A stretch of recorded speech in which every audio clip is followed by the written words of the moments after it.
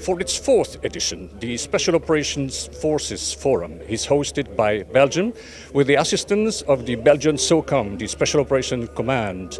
Uh, this is an international event that gathers lecturers, both military and civilians, for points of interest of anything regarding the Special Forces uses around the world.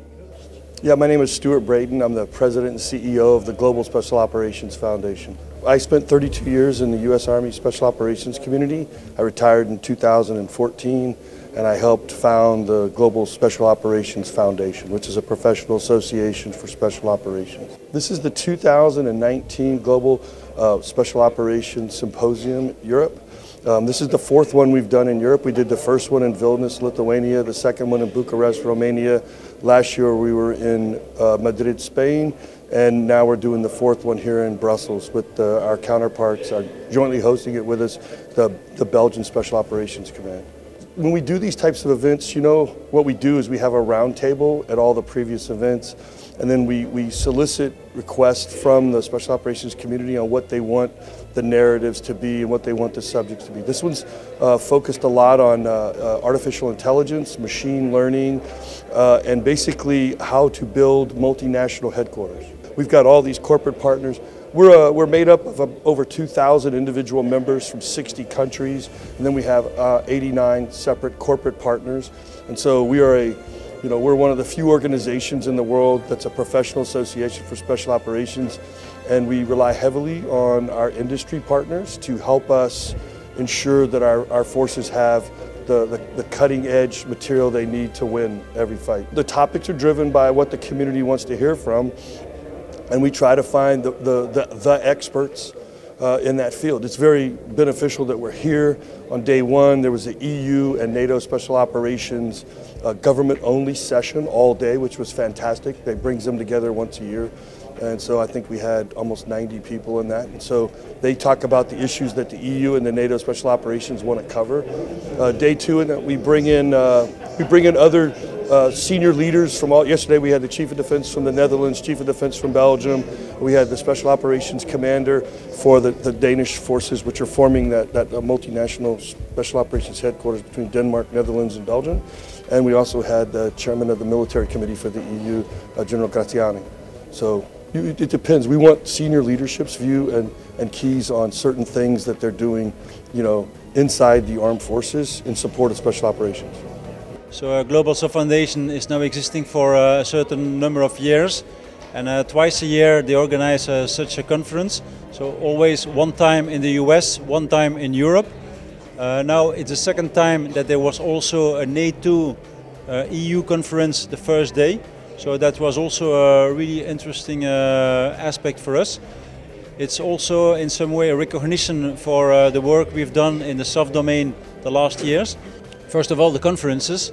Uh, as we had uh, very uh, high level speakers uh, with uh, very interesting teams, I think uh, the conference was a success. So we had, for instance, a panel with the Belgian shot, the Danish SOCOM commander, and the Dutch V-shot talking about their ideas on uh, SOF and on the future. So it was really interesting.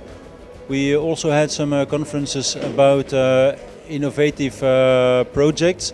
Uh, we talked, uh, for instance, um, about uh, a project we are conducting in Niger about the work, a, new type of work with military assistance towards the local population. Very interesting. Uh, we also had some some other shorter presentations uh, who were who were uh, really interesting to attend. this as a first part. Then a second part was, of course, the exhibition here in the hall of the hotel. Uh, allowing, uh, allowing us to have uh, many contacts with the industry, learning about new innovations. And one of them, for instance, um, was a new type of ammunition which can be used underwater and then, of course, you have the, the third part of, um, uh, let's say, the, the, third, the third part of importance for such kind of event is uh, the networking part. So uh, many nations were present here. in between the different conferences, we had a lot of time to discuss with our partners and uh, share experiences, uh, good practices. So that's also a, a, very positive point of this kind of conference.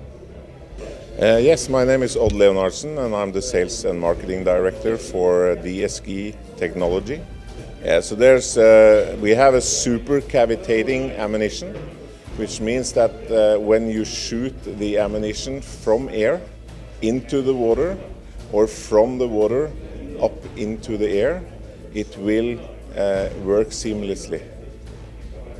It's a cavitating round so it's the only thing that will basically be in contact with the water is the tip of the ammunition.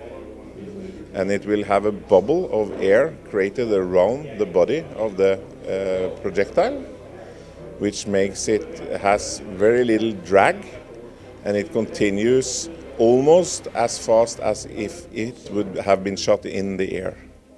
If you shoot an, a normal uh, projectile into the water, it will go uh, for a feet or two before it stops and it just falls down to the bottom. And our ammunition for a standard 308 uh, projectile, it will have an effective, uh, it, it will have effect after 16 meters in water. If you go up into the 50 cal, then it will have it will travel 60 meters in water. It can be shot in any firearm, but there are some uh, limitations because of uh, we need to have a specific length of uh, the barrel and a specific twist. And if you are going to shoot from a submerged position, it needs to be a gas piston driven weapon. So, and all that information is available on our web pages to get recommendations on the barrel lengths and the twist. We have started to, to sell uh, test badges of prototypes to different governments. Uh, so now the testing phase has started with our ammunition. Uh, we will start our mass production uh, at the end of this year. FN Herstal is presenting its new ballistic calculator. Here mounted on an FN SCAR HPR, but it can be dismounted, used separately. This calculator provides the shooter with all the indication regarding the clicks he has to put on the goggle to uh, adjust his fire. This new ballistic calculator from FN Herstal is the most compact, high-performance weapon-mounted rangefinder on the market. The all-in-one system can be attached to all squad weapons and offers multiple user features, just like ballistic calculator, visible and infrared laser pointer, variable infrared illuminator, laser rangefinder, connectivity. The FN Ballistic Calculator replaces all other designation accessories and adds SIM adjustment capability. The system includes an advanced laser rangefinder and can measure a human-sized target at a distance of up to 1,750 meters without having to change firing position. The system features an integrated ballistic solver that provides real-time firing solutions. And last but not least, the state-of-the-art OLED screen displays relevant and accurate ballistic correction data. Uh, my name is Timothy Moore. I'm the International Sales Manager for Revision Military and I'm here at uh, the SOF Symposium to talk about our range of products today. Um, I'm going to start firstly with Soldier Power. Okay, this is a new development for us as an organisation and we've got essentially uh, three bits of kit to show you. We've got the batteries, which the solo pack battery here. We've got the share pack battery here, which is the big brother of this little battery here. We've got the adaptive battery charger and then we've got these power managers, the SPM and the IPM. What we've done with them is we've actually developed this system which has a chassis, which you can see in this Pelican case, and then a series of adapters. And these adapters can basically they have a microchip in there, you put the battery in and it automatically charges. You can connect this up to a solar panel, a wind turbine, so essentially you can live off the land in terms of where you get your energy from. We also have our latest goggle, cold weather goggles here. You know, you've got a double walled goggle, so there's no, the, the, the fog resistance is minimal and you have a wire loom which attaches to the goggle so there's no cold gaps between the goggle and the face. Okay. Moving over to our helmet systems here. So we've got a legacy helmet, the A3 Viper in a high cut here. And then we've got uh, our brand new helmet, which is a Caiman ballistic helmet. Okay. Um, for want of a better word, you know, this is a this is a Gen 5 helmet. This is a Gen 6 helmet. The the critical difference is weight. This is an aramid and this is a polyethylene helmet. And this is weighing in at about one and a half kilos, just under one and a half kilos. This is weighing in at just over a kilo. So a significant weight difference to the operator.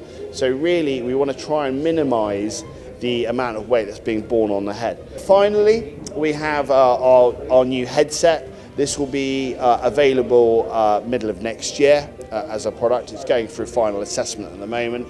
And it does two jobs. The first job is to obviously provide hearing protection. The second job is to provide uh, communications as well. What's different about this is the fact that we have four microphones. So two at the front and then two at the back. And what that allows you to do is have situational awareness and separation awareness on the network. So you can have four radios and they'll be zoned. So you have zero alpha here, one zero, two zero, three zero. And so you'll hear them in different elements of the headset. Okay, I'm a retired Command Sergeant Major uh, Rick Lamb and uh, from the U.S. Army Special Forces. Started out as a young Ranger private and uh, retired as a Command Sergeant Major out of the 5th uh, Special Forces Group. Yeah, this is the uh, the M1943 uh, field uniform. It was it was kind of modeled after the paratrooper uniform of World War II. And this is this was an upgrade for the U.S. Army in 1943. Lessons learned, you know, in uh, in the, in, the, previous conflicts. So it uh, it was a field jacket, had many pockets because the guys were finding that the, they would have to go into uh, into combat with about three days of rations and and equipment. So it had leg pockets. It had several, you know, two chest pockets and two two hip pockets, if you will. And then of course there was a load carrying equipment or um, you know, harness and, uh, and belt that went along with it. Yeah, there were there were several special forces units. The uh, Office of Strategic Services, where the where the modern day special forces guys draw their lineage, was actually started uh, next to the British. Uh, the British Special Operations Executive started our Office of Strategic Services. Uh, a lot of the guys traced their lineage back to the airborne units of, uh, of World War II because airborne was a, was a means of insertion. So, uh, so we, we all share a common lineage. Uh, you, you, had the Rangers, who were uh, basically a, a, an attack element, and they were they were light infantry. Uh, they, they operated generally in Normandy, but they were also in in Italy, and you know, went, went through France into Germany. He also had uh, what I'm wearing today is uh, the 17th Airborne Division. So the 17th Airborne Division uh, came from the States, and their first uh, combat, if you will, was to go into the Ardennes offensive uh, against the Battle of the Bulge. They were they were the first forces to go in and counterattack, along with Patton's tanks. Oh, from World War II to now, it's it's, it's night and day. I mean, World War II was was leather, steel, cotton, wool. Uh, today we have uh, different fabrics. It's, a lot lighter equipment. It's uh, but a lot of it is the same design. And you'll see it ebbs and flows. When we're in combat, it, uh, it shoots up and the innovation shoots up, then we kind of plateau uh, for a while, and then you go back into combat and, and, and it shoots up. But the, uh, we, we want to revere the guys that went before us because those are the guys we stand on their shoulders. They got us to our part in history. And uh, I recently jumped into uh, Normandy, France, and uh, for the 75th anniversary of, of D-Day. We jumped into Carentan and then we walked the battlefields that our forefathers walked.